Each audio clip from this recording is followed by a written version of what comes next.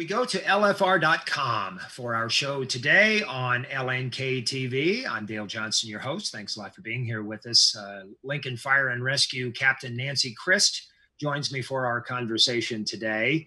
Uh, and we focus on uh, a weekly fire education program that you can find at LFR.com. Nancy and I are putting way more than six feet of distance between us, as you can tell. Nancy, how are you today, Nancy? I'm good. How are you? Good. This distancing is not a problem for us. You do it a lot more on a daily basis than I do, this Zooming. But what COVID did put a crimp in is the fire education aspect, creating a distance between the, the, the people that you serve, the customers of Lincoln Fire and Rescue, and those uh, at the uh, the education side of LFR. So let's talk about that. That gap has been filled by the fire escape on the website. Right.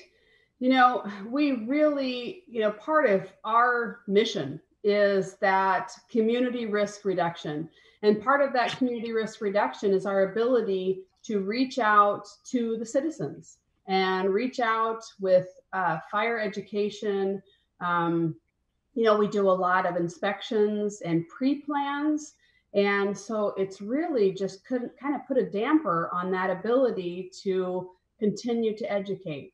So we kind of started doing a little um, brainstorming and we came up with an idea to put fire education right on our website and on social media. So we came up with what we call the fire escape. And it's a weekly education platform that um, we've put up a new lesson uh, every week now for I, I, believe we're in week six or seven i'm not sure um, one of those. So um, and it's a combination of my amateur video production which is uh, leaves little to be desired but uh, you know the whole idea was to give folks an opportunity to continue to see our firefighters, um, see their firefighters in action and, and see what they're doing. And, um, you know, we've done a couple of rig demos, we've done a fire escape plan, we've done some color pages, um, a lot of different uh, types of education pieces. We've got one coming up on um, fire extinguishers. So we're just trying to continue to reach out as best we can during this really, really unique time because it, would this not be for a COVID time, you and I would be sitting in a studio closer than six feet and we'd be looking at each other and that's what your firefighters are so used to doing in, in the schools in the recreation centers in the assisted living centers going in and meeting people educating them on creating a fire escape plan for families, for example, having that information go home with the kids at rec centers, talk to people about exits and uh, safe uh, fire training, those sorts of one on one type skills. Yeah. You know, our, our people are kind of driven by that contact. I mean, that's that's why we do what we do. Um, and so to, to have that taken away has really been uh, kind of a struggle. And, you know, we have people stop by the stations all the time um, mm-hmm. on a normal basis uh, just to say hi. And, you know, of course, our folks bring them right in and, and show them around the, the fire rigs and uh, the ambulance. And so, yeah, it's, it's really been strange. And, and it's not any different than, than what our citizens, what the people of Lincoln have been doing for the last eight weeks. I mean, everybody has been so diligent and so good about following the mayor's directives of just stay home right now, you know, just stay home, hang in there, we can do this together. So that's what we're doing as, as firefighters. We're staying home, we're staying in our stations. Uh, during that time, unless we're, you know, in the commission of our duties, um, and just trying to to really, you know, follow those same directives. So this just gives us an outlet. So here's where you go. You'll see the fire escape, and there let's let's go into there and find out some of the subjects. Uh, you and I have talked about uh, a virtual rig demonstration. This is engine six with uh, a good-looking fire captain there. Uh, your husband Alan is, uh, and is that you behind the camera? Nancy? It is. Okay, It is. nice That's job. Said very amateur stuff. No, and what it does is it just takes you uh, from uh, from the front of the rig to the middle of the rig to the back of the rig, and you learn the parts of the rig itself, why things are where they are, and the functions that this apparatus can provide at the scene of a fire. Yep, exactly. Uh, you know, and the whole idea was, um, you know, to to provide education. Uh, you know, I really this is an up close and personal opportunity to really see what's inside all of those behind all those doors. Um, and then at the very end of that particular video, um, I have two paramedics going head to head, getting their gear on um, to see who can who can do it the fastest. As you know, that is actually part of our job. It's part of uh, the criteria that we have to, to meet is the ability to get our gear on in a certain amount of time. So uh, it was fun to just close that video with those two having a little competition. See, Nancy, I take it all too much for granted, and I shouldn't, because over the years, you and others in LFR have, have privileged me by being able to go inside these fire stations and go into rigs and ride alongs too uh, go into the places that generally the public does not get a chance to see. And so I, I somewhat forget that people haven't seen firefighters put their uh, uh, clothes on and their rigs on and and uh, the behind the scenes pulling out of a fire station and en route. And uh, this gives them a little bit of a peek behind the curtain here on this particular demonstration. Uh, other uh, educational features on the fire escape I believe uh, uh, a proper way to escape your house. You should have you should have a plan, a fire plan, escape. Yeah.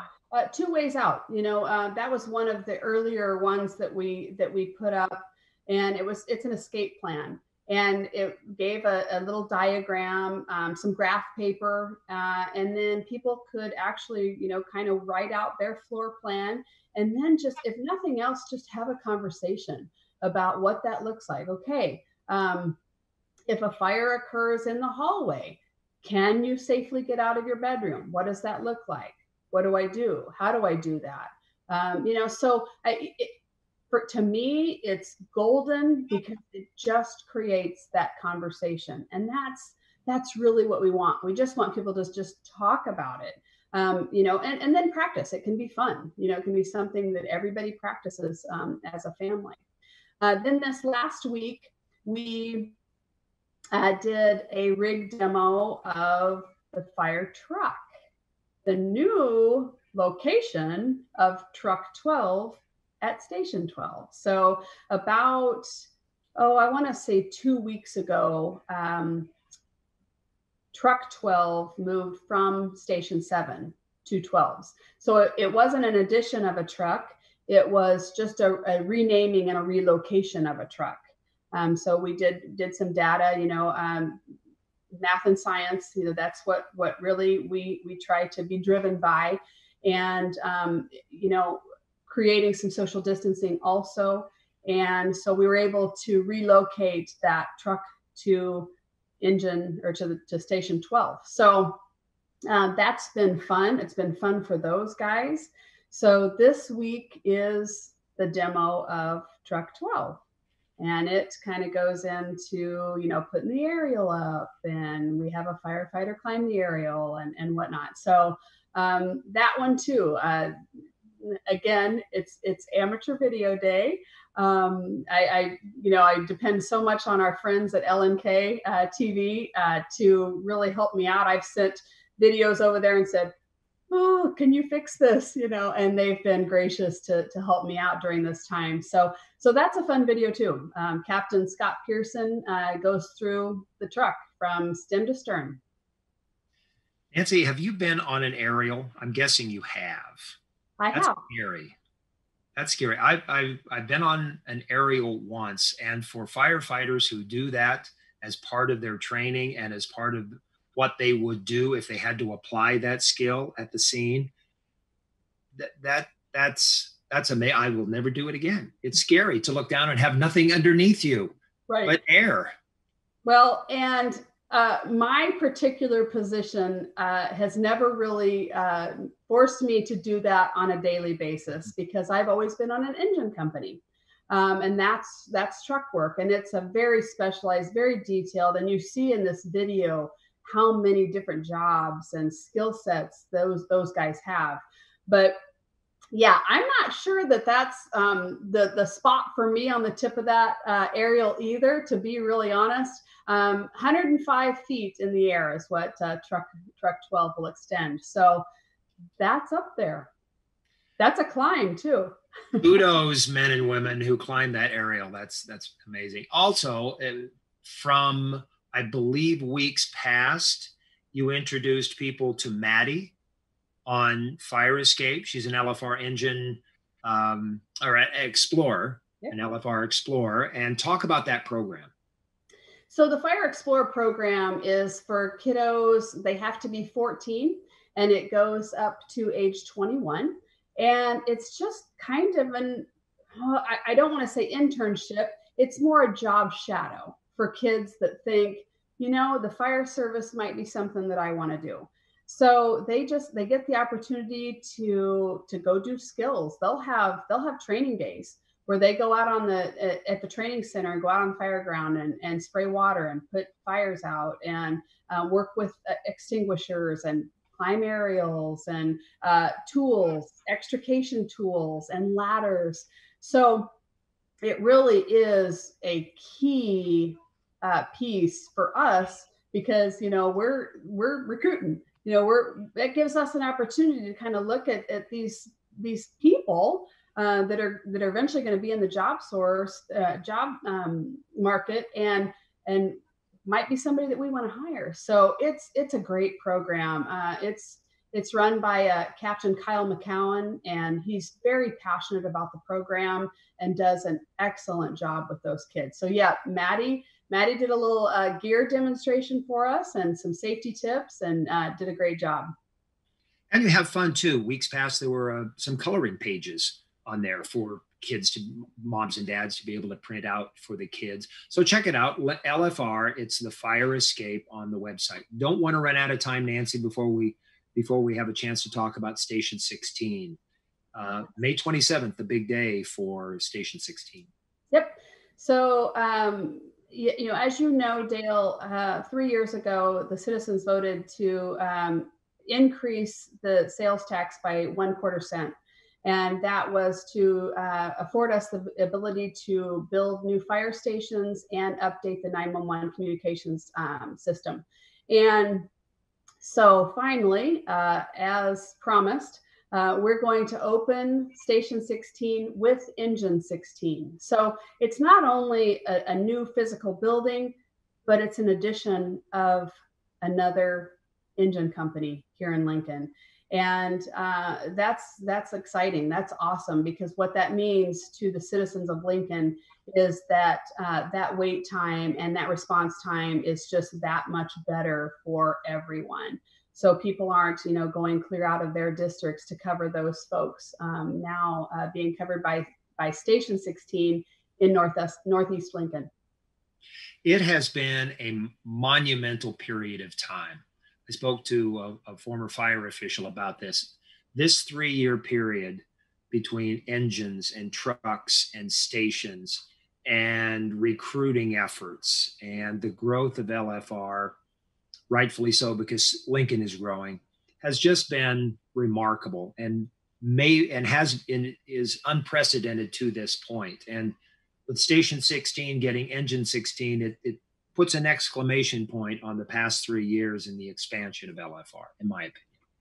Yeah, and you know, the truth is we can't stop. You know, we've got to continue that momentum. We've got, you know, we've got better plans in place now for replacing apparatus.